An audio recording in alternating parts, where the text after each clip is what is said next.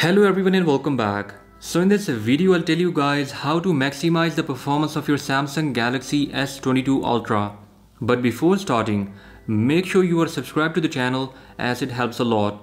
Okay now moving on to the first tip, you can increase the processing speed of your phone and Samsung has placed a dedicated option for this. So in order to enable this option, swipe down the quick settings panel and here you have to swipe to the left. Now tap on this plus icon present here.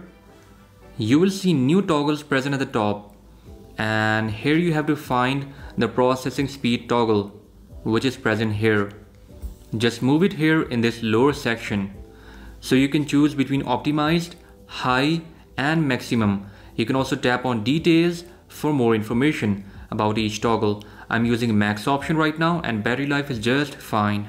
Moving on to the next tip. You can clear cache of your phone to make it a bit faster. For that, turn off your smartphone and after it has turned off, connect it using a wire to your PC. Now keep pressing the power and volume up key at the same time. After some time, you will be in recovery mode and in recovery mode, you can clear cache of your smartphone by choosing this option present here. This will not erase any data on your phone also you can choose this option present here which says repair apps. So in case your phone has some apps which are not working properly, you can repair apps to see if the problem is fixed or not. This option will also not delete any data. With the Galaxy S22 we have an option called as RAM Plus that you can find in settings.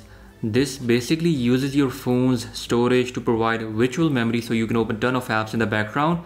By default, 4GB is selected but you can choose 8GB for a bit faster performance. Finally talking about the last thing, you can turn on developer mode on your phone by going into settings. Scroll down and now tap on about and choose software information and here tap multiple times on build number. After developer mode has been turned on, you can go into developer mode and scroll down all the way to window animation scale and transition animation scale you can choose 0.5x for both of them for faster animations. So guys, these were all the tips regarding maximum performance on your Samsung Galaxy S22 Ultra. I hope you enjoyed this video and I'll catch you guys in the next one. Until then, bye bye.